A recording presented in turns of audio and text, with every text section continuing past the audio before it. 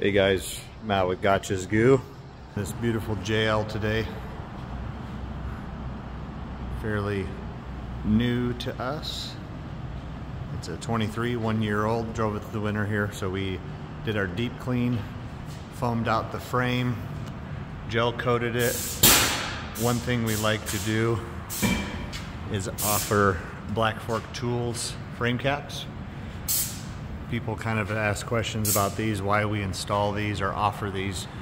If you look at the tires right here, when you turn, the tire blasts this opening here full of sand and rocks. And there wasn't much in here, but there was a little bit that we flushed out. And this covers this hole for these upper like torsion bar, if you will. And it protects it from sand and gravel going into the frame and we fog the frame out so it's protected and coated as well. But this will ensure that our coating lasts much longer and it's not being sandblasted by particulates on the road. If you got a Jeep, this is what we do.